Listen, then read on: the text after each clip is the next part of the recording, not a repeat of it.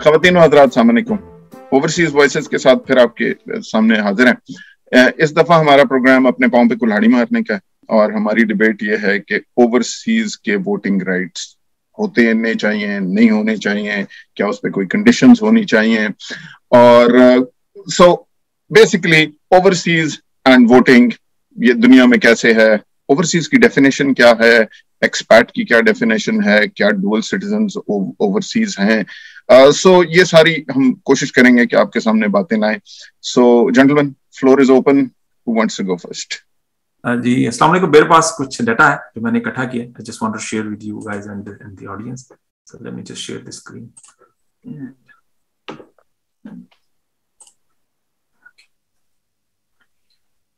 screen नज़र आ रही है मेरी? जी। बिल्कुल। जी। दुनिया में इस वक्त जो है वो तकरीबन चौतालीस ऐसे ममालक हैं जो कि अपने एक्सपैट्रिएट्स को वोट डालने की इजाज़त देते हैं। और उसमें आप मैप्स में देख सकते हैं आपको बहुत ज़्यादा जो तादाद मिलेगी वो आपको साउथ अमेरिकन और यूरोपियन कंट्रीज़ की आपको मिलेगी। एशिया में आपको बहुत कम ममालक मिलेंगे जहाँ पर इजाज़त है। और एशिया में सिर्फ़ इंडिया आपके पास इंडिया है आपके पास जो है वो सिंगापुर फिलिपाइन ताइवान और और कोरिया दो और और, और फार ईस्ट में हमारे पास जापान और ऑस्ट्रेलिया दो हमारे पास एग्जाम्पल्स हैं। इन इन इन इन इन इन इन चवालीस ममालक में मेजरली दो तरह के जो है वो दो तरह की डेमोक्रेसी है। इसमें 28 ममालक में जो है वो पार्लियामेंटरी जो है डेमोक्रेसी है और तकरीबन तेरह ममालक में जो है वो आपके पास प्रेसिडेंशियल सिस्टम है। अब प्रेसिडेंशियल सिस्टम में वोट डालना कदर आसान है कि आपने एक आदमी को वोट डालना है या एक पार्टी को आपने वोट डालना है और डायरेक्टली आप कहीं से भी आप वोट डाल सकते हैं। लेकिन पार्लियामेंटरी जो जो डेमोक्रेसी है, उसमें थोड़ा सा क्वेश्चन ये रहता है कि आप का वोट तो कॉन्स्टिट्यूंसी बेस है, आपने जो है वो कैंडिडेट को वोट देना है या आपने पार्टी को वोट देना तो वो वो थोड़ा सा हमें, वो थोड़ी सा हम इसको अगर डिटेल में हम देखेंगे तो हमें फिर अंदाज़ा हो जाएगा कि मुख्तलिफ़ ममालक में मुख्तलिफ़ जो है वो कवानी राइज है। Let me just open my Excel और मैं, मैंने मेरा ख्याल है Excel मैंने बंद कर दी थी। here probably हमारे पास जो जो वोट डालने का तरीका है, वो तीन तरीके इस वक्त एक्सपैट्रिएट के लिए राइज है। उसमें कुछ ममालक जो है वो एक्सपैट्रिएट को इजाज़त देते हैं कि वो पोस्टल वाया पोस्टल जो है वो अपना वोट वोट वोट डाल सके। उसमें let me just filter it out the countries उसमें हमारे पास Australia, Austria, Belgium, Brazil, Canada, Mexico, Netherlands, Poland और स्पेन, ये ये ये ये तकरीबन नौ ऐसे ममालक हैं जो आपको इजाज़त देते हैं कि आप तारीख से पहले जो है वो इलेक्शन की डेट से पहले अपना एक पोस्टल जो बैलेट है वो आप रिक्वेस्ट कर लें। और वो, आप वोट डाल के आप मेल का पोस्ट कर दें उनको अथॉरिटीज को और आपका वोट काउंट हो जाएगा। इसके बाद हमारे पास दुनिया में मुबालक अरेंजमेंट्स करते हैं कि आप कॉन्सुलेट्स में जाकर वोट डाल सकते हैं। तो ये तकरीबन, गलबन कोई तकरीबन थर्टी थर्टी फाइव ऐसे, पैंतीस ऐसे ममालक हैं जो कि कॉन्सुलेट्स में इलेक्शन बूथ बना देते हैं और आप जाके कॉन्सुलेट में अपना वोट कास्ट कर सकते हैं। फिर हमारे पास बहुत थोड़े ममालक हैं जो कि आपको अलाउ करते हैं कि आप मुल्क के अंदर रहते हुए वोट डाल सकते हैं। क्या अगर आप पाकिस्तान में है मैं फ़र्ज़ करें कि अगर मैं, मैं British national Canadian Canadian national हूँ और मैं एज एक्सपैट भी मैं रजिस्टर्ड हूँ expat vote expat voter list में, और मैं कनाडा में मौजूद हूँ, मैं वोट डालना चाहता हूँ तो मैं अपनी पोलिंग पोलिंग बूथ पे जाकर, जो पोलिंग स्टेशन उस पर जाकर मैं वोट डाल कर सकता हूँ। इसमें एक बड़ी इंपॉर्टेंट जो बड़ी बड़ी जो अहम चीज़ है, वो मैं जैसे वांट टू हाईलाइट कि इंडिया एक वाहद ऐसा मुल्क है पूरी दुनिया में, जो कि एक्सपैट्रिएट्स को, वो लोग नहीं जिन्होंने इंडियन नेशनैलिटी तर्क कर दी है, बल्कि वो लोग जिनको एनआरआई कहते हैं वो लोग जो मुल्क इंडियन नेशनल हैं और बाहर रहते हैं, उनको वो, वोट डालने की इजाज़त तो देता है, लेकिन उसके लिए ये शर्त है कि आप वोट डालने के लिए अपनी कॉन्स्टिट्यूंसी में वापस जाए। आप बाहर रहकर, जैसे मैं अगर यहाँ बैठा और मैं इंडियन नेशनल तो मैं यहाँ से वोट नहीं कर सकूँगा। I have to be in India फिर तीसरी चीज़ कि ये हमने अरेंजमेंट्स की बात की तो अब हम देखते हैं कि वोट्स डाले कैसे जाते हैं। मोड ऑफ़ वोटिंग क्या दो तरह के हमारे पास वोटिंग मोड्स हैं जिसमें इलेक्ट्रॉनिक वोटिंग मशीन हम कहते हैं और एक हमारे पास आता है पेपर बैलेट तो अगर हम ईवीएम की बात करें तो इंडिया और let me just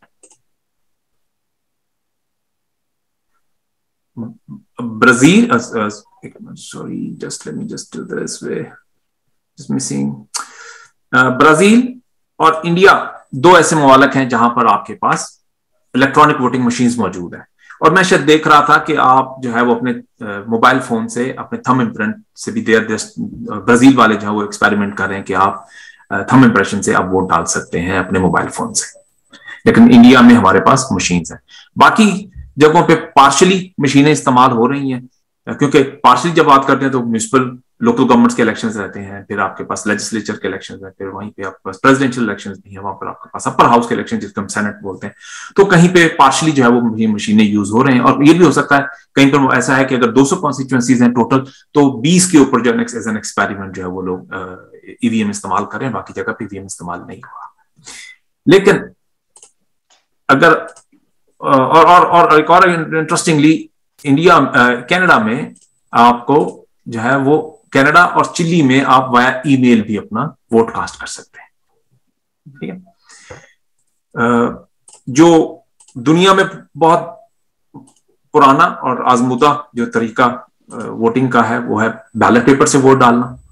तो हमारे पास इन चौतालीस, चवालीस ममालिक में तकरीबन 42 ऐसे ममालक हैं, बयालीस ऐसे ममालक हैं जो कि आपको पेपर बेस जो है वो बैलेटिंग की, उनके पास निज़ाम मौजूद है और वो आपको जो है वो बिल्कुल इसी तरह से आपको पेपर देंगे और पेपर के ऊपर आप ठप्पा लगाएँगे और ठप्पा आप डब्बे में डाल देंगे और आपका वोट काउंट हो जाएगा।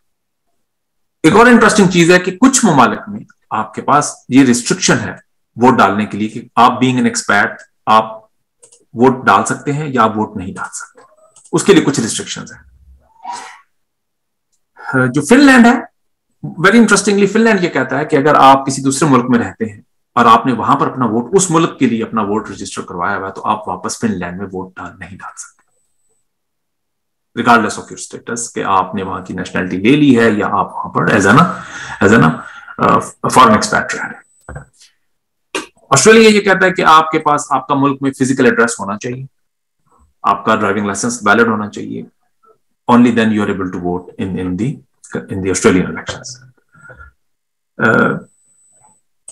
फिर बाकी ममालिक जिसमें जर्मनी है जिसमें आपके पास जो है जर्मनी है फिर हमारे पास जो है वो इसराइल है और हमारे पास सिंगापुर है और और और, और एंड न्यूजीलैंड वो ये कहते हैं कि पिछले तीन साल में शायद जर्मनी में शायद वो पच्चीस साल बोलते हैं लेकिन बाकी ममालिक में बोलते हैं कि पिछले तीन साल में मिनिमम थर्टी डेज़ या तीन महीने कुछ ममालिक में कि आप इस मुल्क में रहे हों। एडिशनली कुछ मुल्कों ने यह किया हुआ है। कि उन्होंने उनके पास प्रोपोर्शनल रिप्रेजेंटेशन तो है, लेकिन उन्होंने एक्सपैट्रिएट्स के लिए जो है वो अपनी पार्लियामेंट में सीटें मुख्त की हुई। अच्छा सीट सीटें से, सीटें कैसे मुख्त की हुई? है कि फॉर एग्जांपल उन्होंने दुनिया को जो है वो सात जो बर आज़म है अमेरिका जो है वो एक उनके लिए बर आज़म है। तो अमेरिका की एक सीट है। ईस्टर्न यूरोप की एक सीट है। वेस्टर्न यूरोप की एक सीट है। एशिया की एक सीट है। अफ्रीका की एक सीट है। तो वो वो वो सीट इस तरह से वो लोग वो रिप्रेजेंटेटिव इस तरह से इलेक्ट होते हैं कि अफ्रीका में दो लोग खड़े हो गए और अफ्रीका के जो कॉन्टिनेंट में रहने वाले जितने भी एक्सपर्ट हैं उस मुल्क के वो उन दो कैंडिडेट्स को वोट डालते हैं। पूरे नॉर्थ और साउथ अमेरिका में रहने वाले जितने एक्सपर्ट्स हैं, वहाँ पर अगर तीन चार कैंडिडेट्स हैं तो वो, जो वहाँ के लोग हैं वो उन तीन चार में से किसी एक को वोट डालेंगे। एंड सिमिलरली यूरोप में एंड सिमिलरली एशिया में। मेरे पास जो जो डाटा था, जो चौवालीस ममालिक का वो वो जो है, वो जो जो कहता है, वो मैंने आप लोगों के सामने रख दिया। Now the house is yours और आप लोग floor is yours and and you guys I'm ready, I'm open for the questions if there are any. I must say ज़बरदस्त प्रेजेंटेशन नईम बड़ा ज़बरदस्त आपने वो सेट किया, वो ये इंफॉर्मेशन बड़ी ज़रूरी थी। Because I think though will be talking about Pakistan in particular लेकिन ये है कि आपको एक ओवरऑल परस्पेक्टिव चाहिए कि जी दुनिया में क्या प्रैक्टिस हैं, किस तरह वो हो रहा है।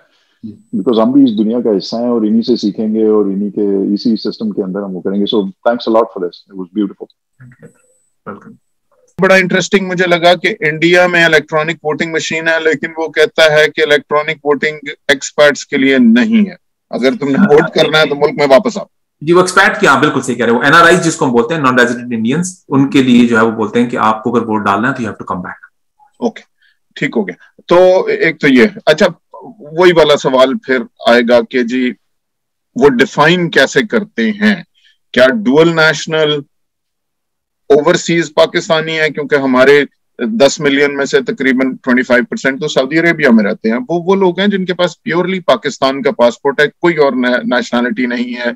तो यकीनन they have a right to vote because Pakistan matters and then you know Dubai में बहुत ज़्यादा हैं या जीसीसी कंट्रीज़ में कोइट में etcetera this are the people without any other nationality but then we come to experts Pakistan के पता नहीं हमारे पास वो स्टेटिस्टिक्स हैं या नहीं है जो मेरे जैसे लोग हैं या आप जैसे हम सब जैसे जो लोग हैं जो कि मुल्क से बाहर हैं और उनके पास दो दो नेशनैलिटीज हैं और हमने हम में से सो क्या कोई ऐसी अगर हमारा स्टेक इन द कंट्री नहीं है जैसे कनाडा कहता है योर टाइज टू कनाडा और your ties to another country तो अगर हमारे टाइज उसको हम कैसे डिफाइन करेंगे for me to vote in a country what kind of ties should I have मेरे ख्याल में मेरे ख्याल में ये आपने अच्छा वैलिड वो किया पॉइंट लेकिन आशर आपके क्वेश्चन का मेरे ख्याल में ये कि देखें इसके दो एस्पेक्ट है ना। एक तो ये कि फिलोसॉफिकल या थियोरेटिकल डिस्कशन के जी किसको वोट का राइट है या नहीं है? और फिर जब वो डिसाइड हो जाए कि जी वोट का राइट है या नहीं है, फिर आप उसके एडमिनिस्ट्रेटिव उसको देखें कि जी ये वोट किस तरह बेहतरीन तरीके से जमा हो सकता है, इसमें धांधली ना हो, इसके अंदर लॉजिस्टिकल प्रॉब्लम्स ना हो इस पर खर्चा कितना आएगा, ये किस तरह होगा, उसके उसके प्रैक्टिकल इम्प्लीकेशन है। मेरे ख्याल में ये कॉन्सेप्ट कि जी जब आप किसी मुल्क के सिटीजन हैं तो आपको वोट का राइट है, ये तो मेरे ख्याल में ऑलमोस्ट यूनिवर्सल है। कि जी, आप सिटीजन हैं तो आपके पास वोट का राइट है। आगे डिस्कशन जो है, वो जो बाइफिकेट होती है, और जिस तरह प्रेजेंटेशन भी की नहीं ने, उसके अंदर ये चीज़ ज़ाहिर होती है कि जी, वो फिर अपनी प्रैक्टिकलिटी और उसको देखते हुए क्या उसके ऊपर या रिस्ट्रिक्शंस लगाते हैं, या उसके ऊपर कि जी यू नो ये वोट प्रॉब्लम ना हो सही काउंट हो इसकी लॉजिस्टिक्स मैनेजेबल हो वो चीज़ हो। मुझे तो इस प्रेजेंटेशन से यही नज़र आया है कि लोग आपको आपका राइट ऑफ़ वोट नहीं चैलेंज कर रहे लेकिन वो अपनी लिमिटेशंस और वो जज करते हुए ये कह रहे हैं कि जी प्रैक्टिकली कि, किस हद तक वो पॉसिबल है? एक और सवाल जो पैदा होता है वसीम भाई एक और जो सवाल पैदा होता है वो ये कि वोट डालने से एक तो ये कि कौन वोट डाले कौन नहीं डाले? दूसरे कि इस वोट डालने से difference what difference do you make कि हम किसी हम लोग बेसिकली किसी नज़रिए को तो वोट नहीं देंगे ओवरसीज पाकिस्तानी हम किसी अब्दुल नजीर को वोट देंगे ना जो हमारे हम्म। गाँव गोट देहात में जो है वो खड़ा होगा और वो किसी एक निज़ाम से वाबस्ता होगा हम तो बेसिकली अब्दुल नजीर को वोट देंगे। तो नज़रिए को वोट देने वाला प्रेजिडेंशियल सिस्टम तो है नहीं हमारे यहाँ। सो स्कैटर्ड स्पोरेडिकली स्कैटर्ड इन बर आजमों में ओवरसीज पाकिस्तानी और वो पाकिस्तानी, एक तो जो कि सिर्फ़ काम की नोयत से वर्कफोर्स है उसने वापस चले जाना उसके पास किसी भी तरह की कोई शहरियत नहीं है। और एक वो पाकिस्तानी, जिसके पास दो दो पासपोर्ट है या सिर्फ़ एक ही पासपोर्ट लेके बैठे हैं, बहुत से लोगों ने अपने शनाख्ती कार्ड रिन्यू नहीं कराया पाकिस्तान में so what difference are they gonna make तो तो ये वही ना, मेरे ख्याल में ये जो है तो बात प्रिंसिपल उसकी तरफ़ और फिलोसॉफिकल डिस्कशन की तरफ़ चली जाती है ना। यानी अगर आप किसी को वोट का राइट देते हैं तो उसके साथ नीचे जो लोग आर्ग्यू करेंगे इस चीज़ के लिए कि जी वोट का राइट उसके नीचे आप कोई भी कंडीशंस नहीं लगाते कि जी आपने प्रिंसिपल बेस के ऊपर वोट करना है, आपने बरादरी के लिए नहीं करना, आपने फलाना, नहीं, वो कहते हैं जी वन पर्सन वन वोट अब ये उस बंदे की चॉइस है कि जी वो चाहे बरादरी के लिए वोट करता है, चाहे वो प्रिंसिपल के बेसिस के ऊपर करता है, चाहे वो जो है तो पार्टी का नाम उसको अच्छा लगता है, या वो कहते हैं कि जी ये बड़ा देवताई लुकिंग लीडर है, मैं इसको वोट देता हूँ। तो तो ये तो किसी भी जगह पे मेरे ख्याल में दोनों चीज़ें टाइड अप नहीं है it's right to vote and then it's a person's right whatever criteria he uses to vote he can do that you know मेरा ख्याल है कि जब तक दो, दो तीन चीज़ें हैं। जब तक वो एड्रेस नहीं होती तो जो वोटिंग है जो जो ओवरसीज की जो एक्सपैट की जो वोटिंग है वो मेरा ख्याल है मुझे समझ में नहीं आती। पहली बात तो ये है कि हमारे हमारा जो जो जो हमारी जो टाइप ऑफ़ डेमोक्रेसी है वो वो उसमें बड़ा चैलेंज है। उसमें हम, हम हमारा फिट ऑन फिट इन होना बड़ा थोड़ा सा वो वो चैलेंजिंग है। उस वक्त तक जब तक हम मुझे वो समझ नहीं आएगी तो मुझे ये लगता है लगता है कि जो एक्सपैट्रिएट का वोट जो है ये वो एक लूप होल हमने क्रिएट किया हुआ है हमने नंबर्स मैनेज करने के लिए। जिस तरह हमने दो आठ में देखा कि आरटीएस बंद करके नंबर्स को ऊपर नीचे किया गया और मर्ज़ी की हुकूमत बनाई गई। What we are really talking about is who, if at all we are discussing this, who should have a right to vote?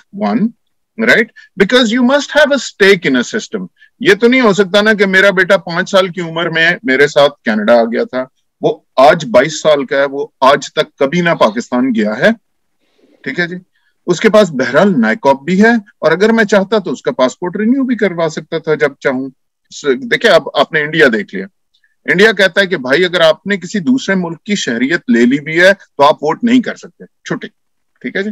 अगर हमने इलेक्ट्रॉनिक वोटिंग बनाई है, हम हम समझते हैं कि ठीक बनाई है, लेकिन अगर आप हमारे इंडियन सिटीजन भी हैं, अमेरिका में रहते हैं, आपने वोट देना है तो आप यहाँ दिल्ली तशरीफ़ लाइए और वोट दे दीजिए। लेकिन हम अमेरिका से आपको इलेक्ट्रॉनिक वोटिंग मशीन की एक्सेस नहीं देते। सो मैं ये कह रहा हूँ कि हम हम चीज़ों को मिक्स ना करें, क्योंकि लोग कंफ्यूज हो जाएँगे। ब्रैकेट्स में तोड़ के रखें। सो पहले सवाल in all fairness in your view who do you think should have a right to vote? Because again, I would say the same thing. A Pakistani living in Saudi Arabia, working continuously with a single passport, which is a Pakistani passport, is obviously a much bigger, better Pakistani than Ashir Azim sitting in Canada. This is how I feel. You may feel differently, right? But is it because, is he a, is he a, is he an overseas Pakistani? Of course. Of course, he's living in Saudi Arabia, so he's yeah. an overseas Pakistani. Yeah. So, what is the difference between Ashir Azim and that uh, person who's working in Saudi Arabia on a kafalat visa and then he's going to go back? Well, because he has more right, he has more stakes in Pakistan. So, so he has every right to vote in Pakistan. He's he's he's he's affected by the political system in Pakistan. His family is affected by it. He's he's going to go back there. He has a future there. Ashir Azim chose to leave that country and take nationality citizenship to another country may have completely different views now his family is never going to go back he he does not file taxes in that country anymore so जब मेरी ना वहाँ पे कोई ताल्लुक ही नहीं है ना मैं वहाँ पर तो फिर आशिर अजीम को वो, क्या वो वोटिंग का राइट उसी के बराबर होना चाहिए जो बेचारा सऊदी अरब में रहता basically, है basically you're tying tying the right to vote with the ties and the stake in the country एक बात। दूसरी बात एक और बात बड़ी इंपॉर्टेंट मैं पूछना चाहूँगा यहाँ पे जो एलिजियंस की बात होती है कि मेरी एलिजियंस तो क्वीन ऑफ़ ब्रिटेन के साथ है मैंने उनका हलफ उठाया मैंने उनकी कसम खाई है और मैंने पासदारी की है कि मैं उनके सारे कानून मानूँगा including gay rights and homo rights and everything Pakistan तो अल्लाह की हाकमियत में बिलीव करता है और मैं ये जो अपनी एक हिपोक्रेट मुनाफिक शहरियत के साथ दो शहरियतों के साथ वोट डाल रहा हूँ do I have the right would they allow me to do to say मैं कहूँगा कि मुझे पाकिस्तान में एक ऐसा मेंबर पार्लियामेंट चाहिए जो कि इस पे बिलीव करता हो कि गे राइट्स होने चाहिए। Now what you gonna say about that हाँ तो मैं इसका, अनिस, देखें पहले मैं आशिर के उसकी तरफ़ आता हूँ। आशिर ने इसको दो चीज़ों में डिवाइड किया। उन्होंने कहा कि जी द राइट टू वोट ठीक है ना जी? और फिर उसके मैकेनिज्म्स ठीक है ना? अच्छा तो आशिर, वो आपने फिर खुद से ही थोड़ा थोड़ा और आगे जाके आपने खुद से कंफ्यूज कर दिया उसको। देखिए, मेरी कंटेंशन ये है कि राइट टू वोट जो है, आप सिटीजन है एक मुल्क के, आपका इन एलियनेबल राइट है कि जी आप वोट दे सकते हैं। वो कोई भी नहीं रोकते। दुनिया में कोई मुल्क का एग्ज़ाम्पल ऐसे नहीं है जो कहते हैं कि जी आप सिटीजन हैं मेरे, लेकिन आपका वोट का राइट नहीं है। देखिए नहीं नहीं नहीं देखिए हमने तो ये स्टेटिस्टिक्स देखिए हमने स्टेटिस्टिक्स ही देख लिया कि सर 44 44 करते हैं। बिल्कुल तो बिल्कुल तो फिर आप कैसे कहते रहे कहते रहे हैं? आप कंफ्यूज कर रहे हैं ना मामले को देखें। आप ये कह रहे थे कि जी किसको वोट का राइट है? मैं उसका जवाब दे रहा हूँ कि जी एक मुल्क के जब आप सिटीजन हैं तो आपके पास राइट ऑफ़ वोट है। अब नेक्स्ट क्वेश्चन ये आता है कि जी आप उस मुल्क से बाहर बैठे हुए हैं। आपने अपने बेटे की एग्ज़ाम्पल दी ना। कि जी, मेरा बेटा जो है, वो पाँच साल का था, उसके पास नाइकॉप भी है, वो कभी पाकिस्तान भी गया। उसको राइट है वोट का कि नहीं? बिल्कुल है उसको। Is a Pakistani citizen he has the right to vote nobody can stop him from voting ये अलबत्ता अलग बात है कि उसके ऊपर एडमिनिस्ट्रेटिव आप वो लगा सकते हैं कि जिस तरह इंडिया ने लगाया हुआ है कि जी, आप इंडिया आके वोट डालें। इंडिया ने ये कभी नहीं कहा कि जी, जो बाहर है, उसका वोट है ही। नहीं लेकिन इंडिया ने ये कहा है कि अगर आपने सिटीजनशिप ले ली है जैसे मेरे बेटे ने लिया तो इंडिया कहता है हम आपको वोट नहीं दे सकते अब आप। वो नहीं वो तो इसलिए कि वो सिटीजन ही नहीं है ना। आप मुझे दुनिया में एक मुल्क की एग्जांपल दें जिसके आप सिटीजन है और वो आपसे क्या आप वोट नहीं कर सकते। कोई भी नहीं है। एक कोई एक नहीं है। यहाँ पर नहीं है। जो चीज़ देखिए हमें कोई ना कोई कट ऑफ़ पॉइंट तो बनाना होगा ना। वो जहाँ बात आके फंसी हुई है ना इंडिया अपने कॉन्स्टिट्यूशन के मुताबिक चल रहा है हम अपने कॉन्स्टिट्यूशन के मुताबिक चल रहे हैं। हमारे कॉन्स्टिट्यूशन में ये लिखा हुआ है कि आपको डुअल सिटीजनशिप अलाउड है और अगर आप सिटीजन हैं तो आप वोट दे सकते हैं। सो so, अब हमें उससे आगे चल रहे हैं। ये हाँ, कहने के लिए कि आप वोट नहीं दे सकते वो उसके लिए फिर आपको कॉन्स्टिट्यूशन दोबारा लिखना पड़ेगा। तो ये हम ये तो नहीं कह रहा। हूँ कि जी वोट तो आपका राइट तो है। अब एडमिनिस्ट्रेटिवली आप ये कह सकते हैं कि आपका वोट जो है उसको हम किस तरह मैनेज करेंगे? या आप पाकिस्तान आए या आप पाकिस्तान में तीस दिन रहे हो या आपका इधर घर हो या आपने टैक्स जमा किए हो या आपका इधर वो चीज़ें वो वो एडमिनिस्ट्रेटिव इश्यूज़ हैं। लेकिन your right to vote can never be challenge you know ये right to vote okay why don't i have a right to to to to vote in timbuktu right? Because, because i've got no no no no but be, uh, not because of your interest in timbuktu it's because you're not a citizen of that country. That's, well, That's the only criteria. So, so, so why can't I take that argument broadly? As a human, I can vote then anywhere. If I have no stake in something, what is citizenship? Citizenship is is is if I have an interest in that country. No, no, no, no, Citizenship is a piece of paper. It's a passport and an ID card that says you are a citizen of this country. That's it. Interest तो उसमें कोई बात ही नहीं है ना। एक, एक सवाल एक सवाल यहाँ जी। देखें ये चीज़ ये मेरी नज़र में तो बड़ा बड़ा क्लियर है ये देखिए सिटीजनशिप जो है ना वो हम्म। एक एक कॉन्सेप्ट है ना सिटीजनशिप क्या क्या होती है सिटीजनशिप सिटीजनशिप ये हाँ, और नेशनल रजिस्ट्री में आपका नाम होता है। चले हम पासपोर्ट पे शुरू कर देते हाँ। अब और और हम बात भी होता है सर आपकी और आपकी और मेरी। वो देखिए ना नेशनल रजिस्ट्री के अंदर आपका नाम है। पासपोर्ट भी गलत हुआ है कि कोई कोई हो सकता है जो पासपोर्ट ना बनाए। मेरे पास नहीं है पाकिस्तानी पासपोर्ट ठीक है ना? तो लेकिन सो, मेरा लेकिन मेरा, मेरा नेशनल रजिस्ट्री में नादरा में सो सो सो मेरा सवाल है नादरा में तो आप थे ना जी? नादरा में तो वो आदमी भी था जो बेचारा मर गया। फिर अभी वो नादरा में उसकी एंट्री तो थी। ठीक है जी? लेकिन वो अब मर चुका है। ठीक है? अब मेरा सवाल ये है कि एक आदमी है जिसने अपनी नेशनलिटी रिवोक कर दी वो भी नादरा में उसकी एंट्री तो है।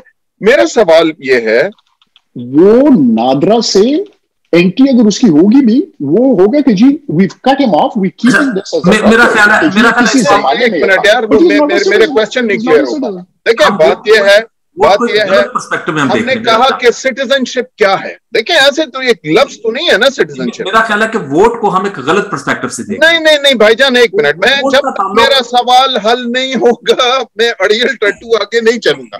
ठीक है एक मिनट है एक मिनट है। देखिए वोट आपने देना क्यों है? सवाल यहाँ से शुरू करें आप। सवाल यहाँ से शुरू ना करें आप कि आपके पास पासपोर्ट है या नहीं है।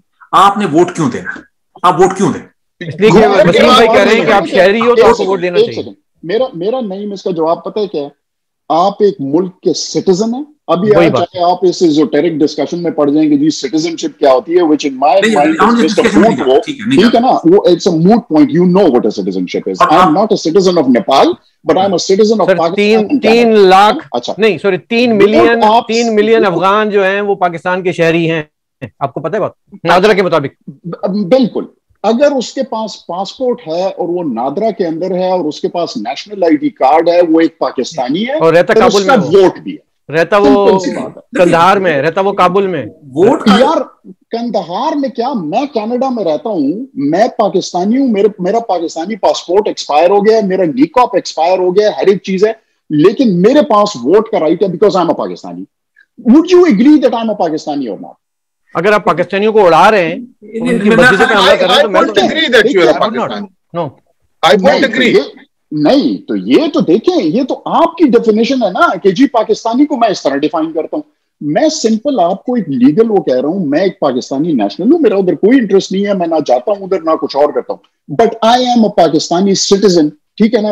Everybody would agree and when I am a Pakistani citizen I have a vote and it doesn't matter whether I throw that vote away, whether I flip a coin, whether I sell it, whether I do whatever so, I do with it, I have a vote and it has to be counted. So, what's a citizen then? You see, you're saying I have a right to vote because I'm a citizen.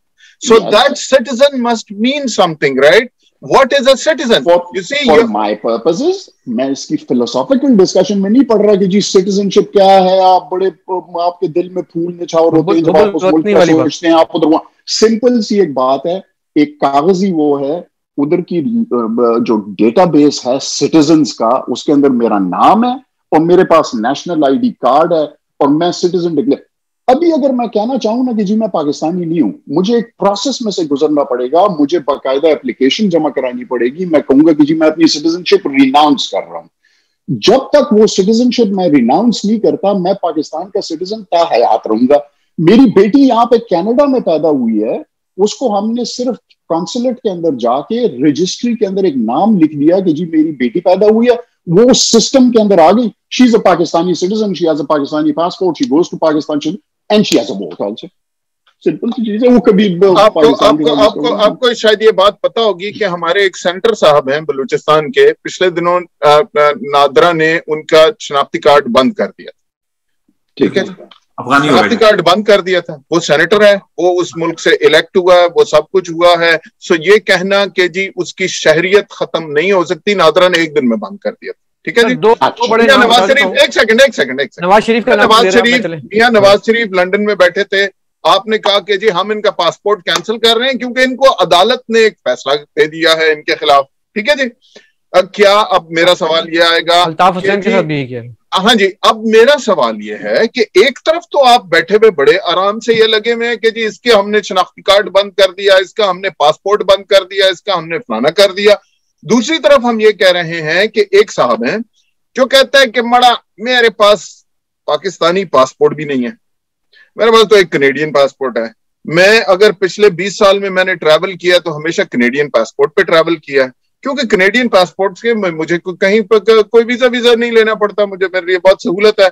कनेड her passport जो है वो आपको सिर्फ़ एक किताब नहीं है। वो आपको एक प्रोटेक्शन देता है। सिटीजनशिप का जो कॉन्सेप्ट है, वो सिटीजनशिप आपके टैक्सेस आपके राइट्स एंड ऑब्लिगेशन डिफाइन करती है। और पासपोर्ट एक बुक है जो कि शुरू ही इस पेज से होती है कि आशर अजीम मेरा शहरी है और इसे दुनिया में जहाँ भी किसी सहूलत की ज़रूरत पड़े, आप इसे असिस्ट कीजिए, क्योंकि मैं हुकूमत पाकिस्तान आपसे ये रिक्वेस्ट कर रही हूँ। और इस सिटीजन को अगर अमरीकी को आप पाकिस्तान में पकड़ते हैं अमरीकी पे लाजमी है कि वो अमरीकी है तो वो अमरीका में हर साल अपने टैक्सेस फ़ाइल करेगा और वो अमरीकी काउंसलेट में जाके कहेगा कि जी मेरे साथ ये हो रहा है तो अमरीकी जहाज़ उसको लेने आ जाएगा के दुनिया में। So citizenship is not just a word citizenship is a set of rights and obligations and and and and protections by a state.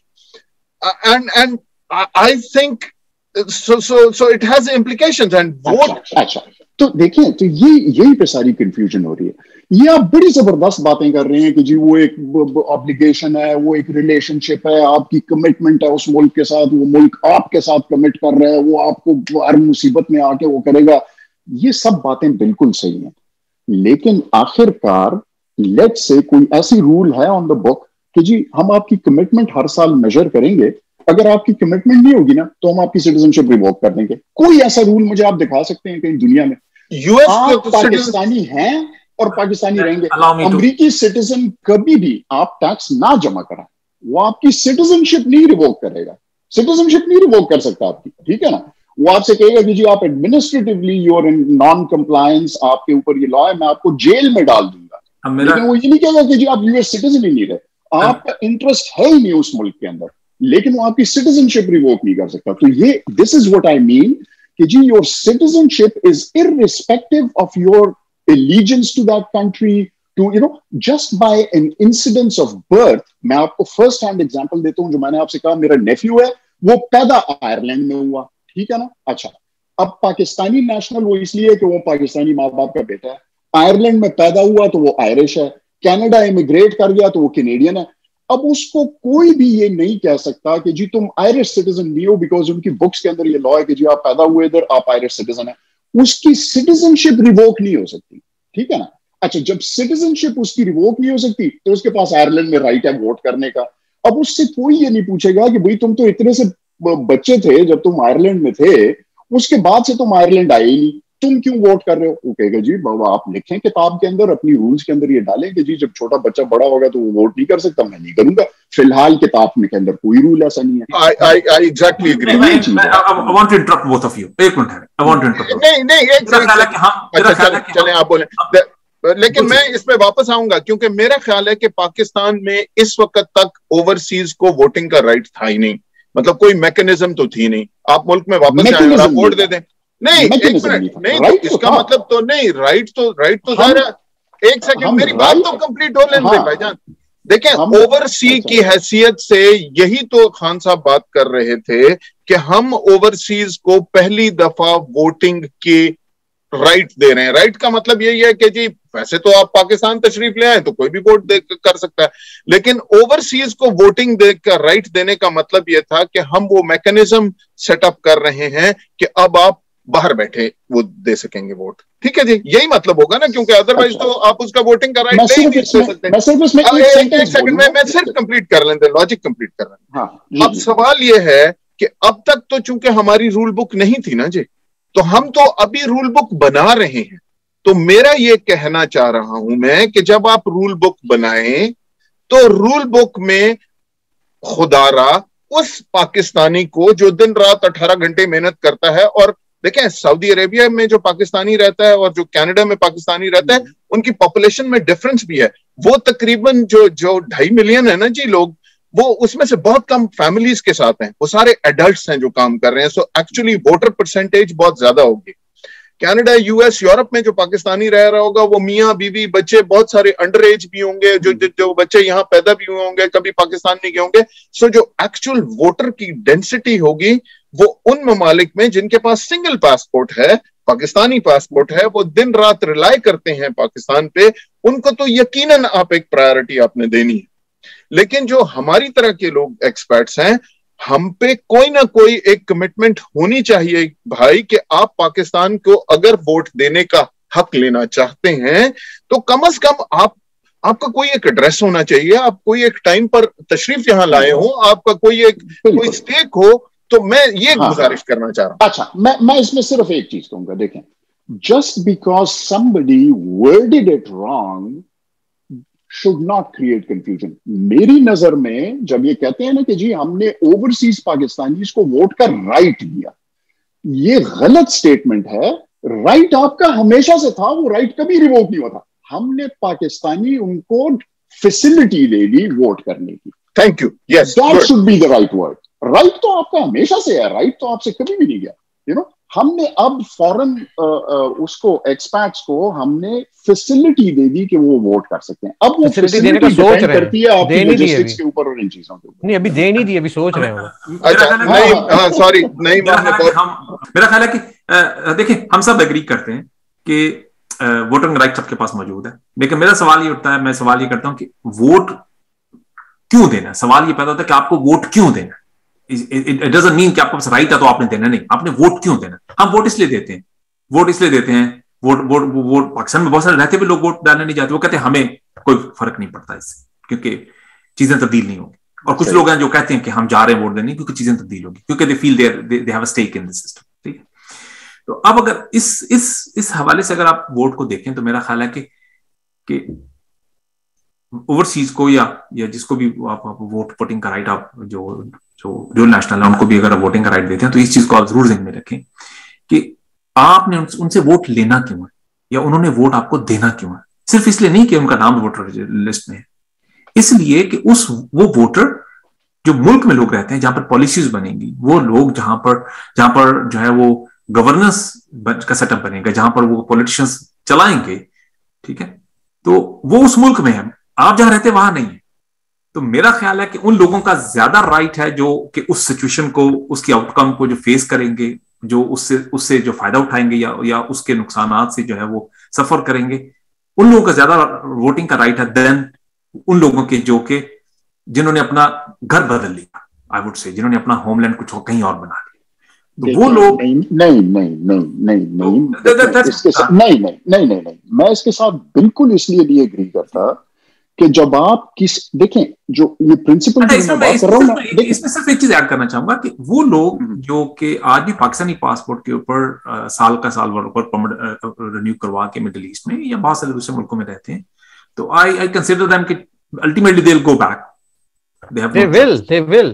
they will. तो, they are तो, Pakistanis. तो एग्जैक्टली तो दे विल इक्वली सफ़र लेकिन हमारा तो ये कि passport आ गया है पाकिस्तान में महँगाई है, पाकिस्तान में कौन सी पॉलिसी बनती है, पाकिस्तान में क्या नहीं होता, क्या बनता है, हम तो जाते हैं दो साल बाद, तीन साल बाद, तीस दिन के लिए क्रेडिट कार्ड स्वैप करते हैं जगह जगह जहाँ जाते हैं रेट भी नहीं पूछते, वो रेट पूछते हैं तो बोलते हैं, यार भैया, आप लगता है पाकिस्तानी नहीं है। तो हमारा तो हम रहते भी हैं दो तीन, वो जो जाते हैं दो महीने के लिए, हमारा हर चीज़ डिफरेंट होती है। तो मेरा ख्याल है कि हाँ। तो मैं मैं जो इसके ऊपर जो नहीं आपसे डिसएग्री कर रहा था ना, वो इस वजह से कि देखें, एक चीज़ होती है जो एक प्रिंसिपल के ऊपर बेस्ड होती है ठीक है ना? वो प्रिंसिपल ये है कि जी जब आप एक मुल्क के सिटीजन हैं तो आपके पास एक वोट है। अच्छा अब आप उसमें अगर प्री कंडीशन लगा दें ना कि जी वो डिपेंड करता है कि आपको उस मुल्क में इंटरेस्ट कितना है वो डिपेंड करता है कि आप उस मुल्क में इन्वेस्टेड कितने हैं आपको उसके साथ क्या रिलेशनशिप है आप यू you नो know, जब आप ये राइट किसी और को दे देते हैं ना तो ये फिर सिर्फ़ ओवरसीज पाकिस्तानी के ऊपर नहीं यूज़ होगा कि जी आप तो इधर रहते नहीं है लिहाजा आपका इंटरेस्ट नहीं है इसमें। ये मुल्क के अंदर भी इस्तेमाल होना शुरू हो जाएगा। आपका जी स्टेक नहीं है, आप तो इंटरेस्टेड नहीं है, आपने तो जी ये चीज़ नहीं की, वो नहीं। सो देयर फोर इस प्रिंसिपल को आप अपने उससे हटाएँ मत। आप सिटीजन हैं, आपके पास वोट का राइट है। आपका वोट आप जब कास्ट करें तो हमारी ज़िम्मेदारी यह है कि जिस इंटेंशन से आपने कास्ट किया है और जिसके लिए आपने कास्ट किया है, हमारी ज़िम्मेदारी है कि हम ये वोट उसके खाते में डाल दें और काउंट हो जाइए। मेरी सिर्फ़ ये ज़िम्मेदारी है। सो लिहाजा, फ़िलहाल मैं आपसे मुआजरत करता हूँ। आप मुल्क से बाहर हैं। मेरे पास ये फैसिलिटी नहीं है कि मैं आपके वोट की हुरमत को प्रॉपरली वो कर सकूँ और आपके वोट को इंश्योर कर सकूँ कि वो किसी गलत उसके पास ना चला जाए या इसमें धांधली ना हो जाए। तो लिहाजा मैं फ़िलहाल मजबूर हूँ। लेकिन आपका राइट ये बिल्कुल है। मेरा अगर सिस्टम सही हो गया तो मैं आपको ये फैसिलिटी दे दूँगा। वेन आई कैन इंश्योर कि जी आपका वोट गलत इस्तेमाल नहीं होगा आपका वोट किसी और के उसमें नहीं जाएगा ये that's the only thing you can say but the principle remains vote आपका राइट है और आप जब सिटीजन है तो आपके पास यू नो वोट डालने का वोट आशिर भाई मैं नहीं समझता कि इससे हमें जो कोई तसली बख्श आज जो है ना इसकी डिस्कशन से कोई फ्रूटफुल हमें कंक्लूजन मिल रहा है। We need to continue this like ये ये लंबी बहस है। मैंने मेरा ख्याल है कि ये कभी भी हम हम एग्री हम अगली एक और डिस्कशन भी करेंगे हम इस पे एग्री नहीं कर सकते। ऑनेस्टली नहीं कर सकते तो मेरा ख्याल है कि अच्छा है मैं आपको मैं आपको अनीस बताता हूँ कि ये क्यों देखिए दुनिया में ऐसी चीज़ें हैं ना कुछ जो बिल्कुल एम्पेरिकल फैक्ट्स हैं ठीक है ना? तो उसके ऊपर तो आप आर्ग्यू करके फाइनली उसकी वो मैं आपके साथ जी आर्ग्यू करता हूँ कि जी आप कहते हैं ज़मीन फ्लैट है मैं कहता हूँ ज़मीन गोल है। ये हम करते रहेंगे करते रहेंगे argue but I am hundred percent sure कि इवेंचुअली आई कन्विंस यू कि नहीं जी ज़मीन गोल है। ज़मीन चाँद के गिर घूमते सूरज के गिर घूमती है ठीक है? कुछ चीज़ें कुछ चीज़ कुछ चीज़ें जो है वो ओपिनियन बेस्ड होती हैं। अच्छा ओपिनियन बेस्ड वो होती इसीलिए है कि दोनों साइड्स के ऊपर आर्ग्यूमेंट्स होते हैं और वो अपने आर्ग्यूमेंट्स के ऊपर उन्होंने एक ओपिनियन फॉर्म किया होता है। उसका कभी भी रिज़ल्ट नहीं निकलता। पचास साल से अमेरिका के अंदर जो है तो ये जो एंट्रेंस इशू है अबॉर्शन का राइट टू लाइफ का कभी भी उसका रिज़ल्ट नहीं निकल सकता बिकॉज़ दोनों के अंदर जो है तो एक एक व्यू का है, दूसरा, दूसरे का, एक के पास भी आर्ग्यूमेंट है, दूसरे के पास भी है। तो इसका तो कंक्लूसिवली कभी वो निकल ही नहीं सकता ना। हम लोग इसके ऊपर डिस्कशन कर सकते हैं। इवेंचुअली जो इसके एडमिनिस्ट्रेटिव इंचार्ज हैं, वो जब ये इंश्योर कर लेगा और कहेगा कि हाँ जी, मैं आपको इंश्योर कर सकता हूँ कि आपका वोट धांधली नहीं होगी, गलती नहीं होगी, इसके अंदर वो काउंट होगा वो कर देगा वरना तो वो कहेगा कि जी सॉरी हमारे पास नहीं है सिस्टम भाई आप आप और मुझे आपके बारे में मैं कह सकता हूँ कि आप दुनिया के उन चवालीस मुल्कों की हिमायत में खड़े हैं मैं बाकी मुल्कों की हिमायत में खड़ा हूँ जो कि नहीं देते राइट टू वोट नहीं नहीं बस ये, ये दोबारा आपने कंफ्यूज कर दिया राइट को और उसकी फैसिलिटी राइट वहाँ जाके तो मैं जो दिल चाहे करूँ ना ज़मीन खरीदूं घर बनाऊँ जो दिल चाहे करूँ शादी हाँ। करूँ मैं तो बात कर रहा हूँ कि ओवरसीज जो रियल ओवरसीज जो बैठा हुआ है यहाँ पे इसके बाद एक ही डॉक्यूमेंट है एक ही एलिजेंस मलका का हलफ उठा के बैठा हुआ मैं वो उसको ओवरसीज कह रहा हूँ कि वो बेचारा बस उसको मैं ना ही समझो अवैस आप कुछ कहना चाह रहे थे? देखिए मैं सिर्फ़ ये कह रहा था कि अगर हम इसी तरह वेरिएबल्स पे बहस करते रहेंगे ना तो ये बहस कहीं भी नहीं पहुंचेगी। आपको किसी भी जो मैंने पहले पॉइंट कहा था कि इस तरह की किसी भी चीज़ पर बात करने के लिए आपको एक कोई कट ऑफ़ पॉइंट बनाना पड़ेगा कोई क्राइटेरिया बनाना पड़ेगा और वो क्राइटेरिया इस किस्म के सिचुएशन में जिस पे हम बात कर रहे हैं वो वो एक तो वो यूनिवर्सल राइट है जो आ, अगर आप सिटीजन हैं तो हर मुल्क आपको देता है। दूसरा ये कि आपका कॉन्स्टिट्यूशन उस मामले में क्या कहता है। उससे फिर आप आगे बढ़े। अगर हम उस पर बहस करना शुरू हो जाएँगे कि कॉन्स्टिट्यूशन ने वो राइट अगर दिया है तो गलत दिया है तो फिर तो ज़ाहिर बात कहीं भी नहीं पहुंचेगी। उस पर वो फिर फैक्ट से आगे हट के ओपिनियन वाली बात चली जाती है और ओपिनियन सबका ज़ाहिर मुख्तलिफ़ हो सकता है उस हवाले से। सो so, दो तरीके हैं सब्जेक्ट को अप्रोच करने के लिए कि एक कि हम ये बहस करें कि क्या जो लोग मुल्क से बाहर कहीं भी चले गए हैं, उनको वोटिंग का राइट होना चाहिए या नहीं होना चाहिए, जैसे अनीस भाई कह रहे हैं, या ये कि इस वक्त जो मौजूदा सूरत हाल है और उसमें जो बहस हो रही है कि आइन के मुताबिक उन लोगों को क्या आकर वोट करना चाहिए, या जैसे पीटीआई की ख्वाहिश थी कि वो जिन मुल्कों में मौजूद हैं और अगर वो वापस नहीं भी आए हैं, दस दस, पंद्रह पंद्रह, बीस बीस साल से तो वहीं बैठे वो वोट दे सकते हैं या नहीं, उस पर बहस करनी चाहिए। ये दो मुख्तलिफ़ चीज़ें हैं। तो बिल्कुल एग्जैक्टली एक प्रोसेस है और एक जो है तो उसमें मैं, मैं मेरा ख्याल है कि मैं जो वसीम भाई बात कर रहे थे मेरा ख्याल है कि ये ये बात बिल्कुल ठीक है। I tend to agree with him कि बिल्कुल अगर आपके पास वोटिंग राइट है तो आप नेशनल हैं तो आपको वोटिंग राइट आपके पास मौजूद है। लेकिन सवाल जो मेरे जहन में कंफ्यूजन है जो जिसको जो कि बहुत सारी चीज़ों को मुझे बहुत ज़्यादा जगहों पे कंफ्यूज करती वो ये थी कि जो प्रोसीजर है बेसिकली कि मुझे लगता है कि जो ये जो ये जो ये जो इस वक्त जो ओवरसीज का वोट की जो बात की गई है ये नंबर्स गेम के साथ जो नंबर्स के साथ जो है ना उसको खेलने उस, उसको मैनिपुलेट करने के लिए जो है वो वो, वो ये प्रोसेस शुरू किया गया जहाँ पर मेरा कंसर्न शुरू होता है। मतलब बदनीति शामिल है इसके पीछे। बदनीति शामिल है यहाँ पर मेरा मेरा ये ख्याल है although I was initially not I was against the idea but having heard Wasim I think he's right. I agree with him. Uh, I agree with him in the sense के जी uh, देखिए अगर हम ये conditions डालना शुरू हो जाएँ कि एज अ सिटीजन अगर मेरे पास वोटिंग का राइट है तो फिर मैं पाकिस्तान में भी ये कंडीशंस डालना शुरू कर दूँगा तो फिर मुझे वो भी जस्टिफाई करना पड़ेगा कि ये हुकूमत का राइट है कि जनाब इसकी सिटीजनशिप बंद कर दी इसका पास इसका शनाख्ती कार्ड बंद कर दिया which I I I think Wasim is absolutely right this is an inalienable right you can't do this ठीक है जी? तो वोटिंग पे कंडीशन डालना शायद मुनासिब नहीं है।